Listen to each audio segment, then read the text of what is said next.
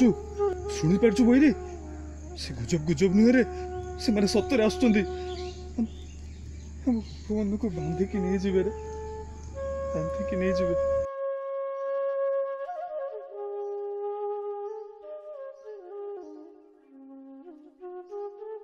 ସବୁ ଜାଣିବି ତୁ ଚୁପ୍ କେମିତି ରହିପାରୁଛୁ ଯେ ମାନୁଛୁ ମାନୁଛୁ ତୁ ତାଙ୍କ ଉପରେ ଟିକେ ରାଗିଛୁ କିନ୍ତୁ କରି କରାଉ ଥାଏ ମୁହିଁ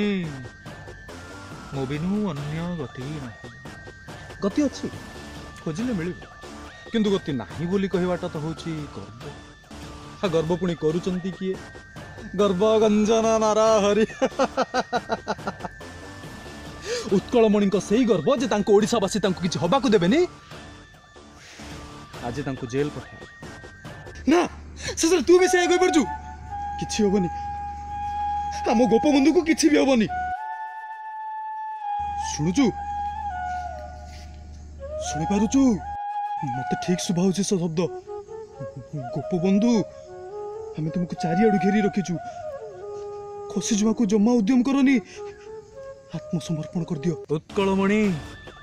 you are under arrest Nishu ମୋର ଦେହ ଏ ଦେଶ ମାଟିରେ ଦେଶବାସୀ ଚାଲି ଯାଆନ୍ତୁ ପିଠିରେ ମିଶୁ ମୋର ଦେହ ଏ ଦେଶ ମାଟିରେ ଦେଶବାସୀ ଚାଲି ଯାଆନ୍ତୁ ପିଠିରେ ସେ ତ ଥିଲେ ଦୀନବନ୍ଧୁ ଗରିବଙ୍କ ପାଇଁ ସବୁବେଳେ ତାଙ୍କ ପ୍ରାଣ କାନ୍ଦୁଥିଲେ ବନ୍ୟା ପ୍ରପୀଡ଼ିତଙ୍କୁ ଚୂଡ଼ା ଚାଉଳ ବାଣ୍ଟିବା ତାଙ୍କ ମୁହଁରେ ମୁଠା ଦାନା ଦେବା ପାଇଁ ସେ କିଛି ବାଧାବିଘ୍ନ ମାନୁନଥିଲେ ସେଇଥିପାଇଁ ଖାସ ସେଇଥିପାଇଁ ସେ ବାଧ୍ୟ ହେଲେ ତାଙ୍କ ରୁଗୁଣ ପୁଅକୁ ଛାଡ଼ିଦେବା ପାଇଁ ଆଜି ବି ଗରିବ ଓଡ଼ିଆ ଗରିବ ହିଁ ଅଛି ଗରିବ ଓଡ଼ିଆ ଗରିବ ହିଁ ଅଛି ଆଜି ବି ଶହେ ବର୍ଷ ପରେ ବି ଲୋକମାନେ ଗରିବଙ୍କ ପାଇଁ ପ୍ରାଣ କନ୍ଦଉଛନ୍ତି ତାଙ୍କୁ ଟଙ୍କିକିଆ ଚାଉଳ ଦେଉଛନ୍ତି ତାଙ୍କୁ ପାଞ୍ଚ ଟଙ୍କିଆ ଭାତ ଡାଲମା ଦେଉଛନ୍ତି ଆଉ ସେଇଭଳିଆ ଲୋକଙ୍କୁ କ'ଣ କୁହାଯାଏ ଜାଣିଛୁ ରାଜନୀତିଆ ରାଜନୀତିଆ ଆରେ ଆରେ ଆରେ ଆରେ ତାହେଲେ କ'ଣ ଗୋପବନ୍ଧୁ ରାଜନୀତି ପାଇଁ ତାଙ୍କ ପୁଅକୁ ମାରିଦେଲେ କହ କହୁନୁ କେମିତି ହେଇପାରିବ ସ୍ୱତନ୍ତ୍ର ଓଡ଼ିଶା ପ୍ରଦେଶ ଗଠନରେ ଗୋପବନ୍ଧୁଙ୍କ ଭୂମିକା କ'ଣ ସେ ପୁରା କର୍ତ୍ତବ୍ୟ ବୋଧିନୀ ସମିତି ଗଠନ କରି ଓଡ଼ିଆ ଭାଷା ବିଲ ଉପରେ ତୀବ୍ର ପ୍ରତିବାଦ କରିଥିଲେ ତାଙ୍କରି ଯୁକ୍ତି ଥିଲା ବ୍ୟକ୍ତି ଆଉ ଜାତି ଏଇ ଦୁଇ ଜଣଙ୍କର ପରିଚୟ ହେଉଛି ଭାଷା ଆରେ ଭାଷା ହିଁ ହେଉଛି ଜାତିର ପ୍ରାଣ ସ୍ପନ୍ଦନ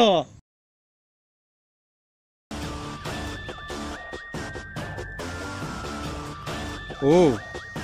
ତାହେଲେ ଏବେ ତୁ ସେଇ ଦ୍ୱାହି ଦେଇ ତାଙ୍କ ପୁଅର ମୃତ୍ୟୁକୁ ଯଥାର୍ଥ ବୋଲି କହିଲୁ ତେବେ ଶୁଣ ଯା ଯା ଦେଖି ଆସିବୁ ସେ ଓଡ଼ିଆ ଜାତିକୁ ଓଡ଼ିଆଟା ନିଜ ମାତୃଭାଷା କହିବାକୁ ତାକୁ ପିତା ଲାଗୁଛି ପିତା ଲାଗୁଛି ସାରା ରାଜ୍ୟରେ ଓଡ଼ିଆ ଭାଷାର ମାନ୍ୟତା ନାହିଁ ତ କ'ଣ ଲାଭ ହେଲା କଣ ଲାଭ ହେଲା ସେ ନିରୀହ ଶିଶୁଟାକୁ ହତ୍ୟା କରିଦେଇ ଜବାବ ଦେ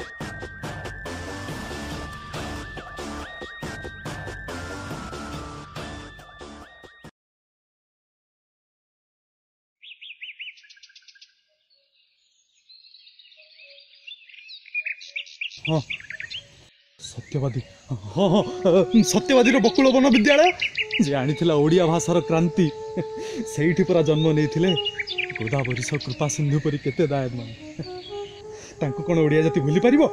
ଭୁଲି ପାରିବ ପଞ୍ଚସଖାଙ୍କୁ ଶିକ୍ଷା ଶିକ୍ଷାଟା ଆଜି ବ୍ୟବସାୟରେ ବ୍ୟବସାୟ ଜାତୀୟତା ଭାଷା ପ୍ରୀତି ଏସବୁର କିଛି ମୂଲ୍ୟ ନାହିଁ ଏ ସମାଜର ଖାଲି ଗୋଟିଏ ହିଁ ନିୟମ ଆବେ ପରସୁ ଚବେ ପରସୁ ବାବୁ ପରଶୁରା ପଇସା କ୍ୟା କରେଗା ଆଜିକାଲି ସବୁ ବାପା ମାଆଙ୍କୁ ଗୋଟେ ଗୋଟେ ମେସିନ୍ ଦରକାର ଟଙ୍କା ଛପଉଥିବା ମେସିନ୍ ସେମାନେ କ'ଣ ସତ୍ୟବାଦୀ ପଞ୍ଚସଖାର ଦାୟଦ ନଥିଲେ ତେବେ କ'ଣ ସେଇଭଳି ନପୁଂସକ ଦାୟଦମାନଙ୍କ ପାଇଁ ଗୋପବନ୍ଧୁ ତାଙ୍କ କୋମଳ ଶିଶୁକୁ ହତ୍ୟା କରିପାରିଲେ ଦେଖ ବାସ୍ ବହୁତ କହିଗଲୁ ତୁ ବହୁତ କହିଗଲୁ ତୁ ଆଉ ମୁଁ ବହୁତ ଶୁଣିନେଲି ତୋର ମନେ ଥିବ କି ନାହିଁ ମୁଁ ଜାଣିନି କିନ୍ତୁ କିନ୍ତୁ ମୋର ଠିକ୍ ମନେ ଅଛି ଉଣେଇଶହ ଚବିଶର ସେ ବିଶାଳ ଜନସମାଗମକୁ ସେଇଠି ସେଇଠି ଆଚାର୍ଯ୍ୟ ପ୍ରଫୁଲ୍ଲ ଚନ୍ଦ୍ର ରାୟ ତାଙ୍କୁ ଉତ୍କଳମଣି ବୋଲି ସମ୍ବୋଧନ କଲେ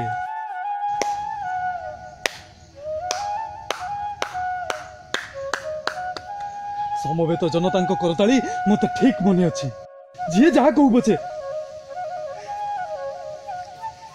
ଇଏ ତ ହେଉଛନ୍ତି ସବୁ ଓଡ଼ିଆଙ୍କର ଉତ୍କଳମଣି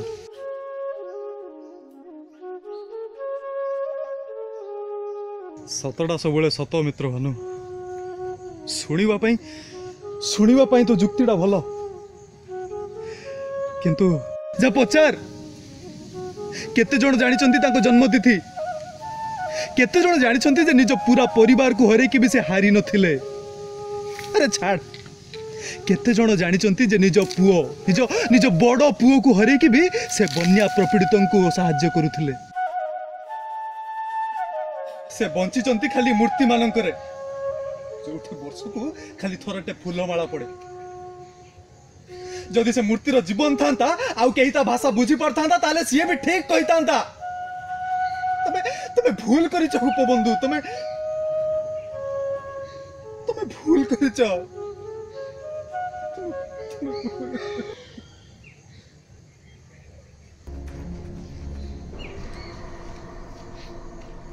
বৈরি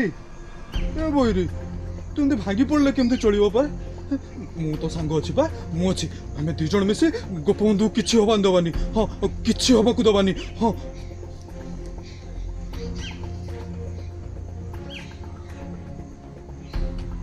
ହଁ ମିତ୍ରମାନେ ଆମେ ଥାଉ ଥାଉ ଗୋପବନ୍ଧୁକୁ ଯଦି କିଛି ହେଇଯାଏ ତାହେଲେ ଆମେ ବଞ୍ଚିକି ଲାଭ କ'ଣ ଆମେ ଆମେ କିଛି ହେବାକୁ ଦେବାନି ଆମେ ଆମେ ଚେଷ୍ଟା କରିବା ମିତ୍ରମାନେ अमे आमे चेष्टा तो करि पाए हां निश्चय करि पाए गोप्पा ए गोप्पा अरे खाई बुआ जे बेटा ए टोकाटा शहर को पाठ पढिया को गलाणी थार किछे मुंडो फुंडो काम करुन तोडा पागल आइ गलो ने रे पागल आ खाई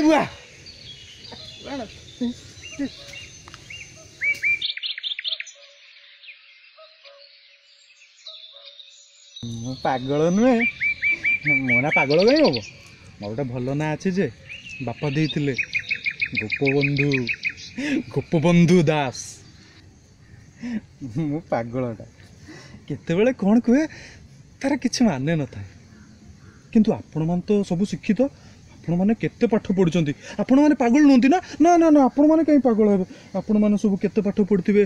ତାଙ୍କ ଜନ୍ମ ଶତବାର୍ଷିକୀ କେବେ ସେ କ'ଣ କ'ଣ ନୀତି ଆଦର୍ଶ ଦେଇଛନ୍ତି ଏମିତି କେତେ କଥା ଜାଣିଥିବେ କ'ଣ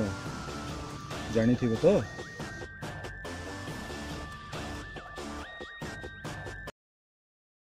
ମିଶୁ ମୋର ଦେହ ଏ ଦେଶ ମାଟିରେ দেশবাসী চালি যান্তু পিঠিরে মিশু মোর দেহ এ দেশ মাটিরে দেশবাসী চালি যান্তু পিঠিরে দেশর স্বরাজ্য পথে যেতে গাড় পুরুত হি পড়ি মোর মাংস হাড় স্বাধীনতা পথে তীরে হেলে নর মো জীবন দানে হেউ অগ্রসর সেবা দিবস ও গোপবন্ধু জয়ন্তী উপলক্ষে ଆପଣମାନଙ୍କୁ ହାର୍ଦ୍ଦିକ ଅଭିନନ୍ଦନ ଆଉ ଆମର ବିବର୍ତ୍ତନର ଏକାଙ୍କିକା ସିରିଜର ପ୍ରଥମ ଅଧ୍ୟାୟ ଆପଣଙ୍କୁ କେମିତି ଲାଗିଲା ଆପଣ ଜଣାଇଛନ୍ତି ଆହୁରି ଲାଇକ୍ କରନ୍ତୁ ଆଉ ଏଇଟା ହେଉଛି ଆମର ଦ୍ୱିତୀୟ ଅଧ୍ୟାୟ ଆପଣ ୟୁଟ୍ୟୁବରେ ଆପଣ ଦେଖିବାକୁ ପାଇବେ ଆଉ ଆପଣ କ'ଣ ଦେଖିବାକୁ ଚାହାନ୍ତି ବିବର୍ତ୍ତନରୁ ଆମକୁ କମେଣ୍ଟରେ ଜଣାନ୍ତୁ ଲାଇକ୍ କରନ୍ତୁ ସେୟାର କରନ୍ତୁ ସବସ୍କ୍ରାଇବ୍ କରନ୍ତୁ ନମସ୍କାର